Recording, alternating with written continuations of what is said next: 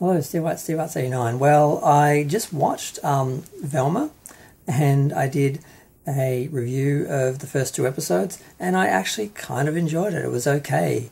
Um, it wasn't the train wreck that everyone was saying it was. It wasn't the, the absolute disaster that people were saying it was. And with all that negative um, sort of build up, I actually think maybe it actually made the show look better. And I didn't mind it. I thought it was okay. And apparently this is resonating with people because um, HBO Max has put out a um, post saying that the Max original show, um, Mindy Kaling in Velma or as Velma, had the biggest premiere day for a Max original animated series ever. Now that's that's good.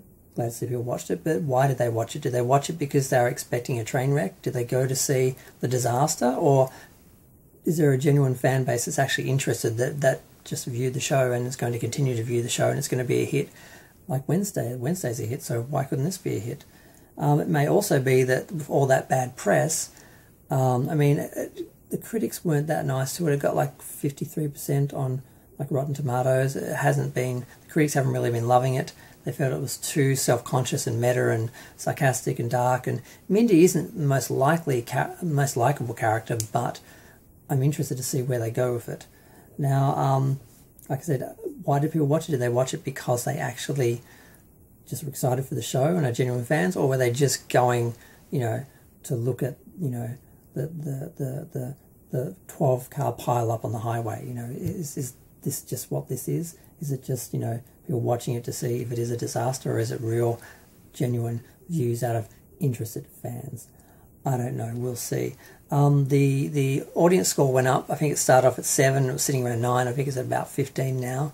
So I don't know. Will people warm up to it once they see it's not the disaster that they'd been told it was, that everyone was promoting it as? Because I sort of went to see it because I was expecting it to be a disaster. So I'm thinking, how many people did that? I'm guessing most.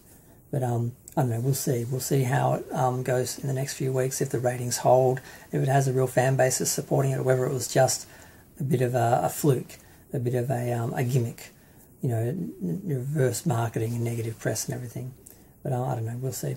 I'm going to go. Feel free to share, like, comment, subscribe. Let me know what you think. Thanks. Bye.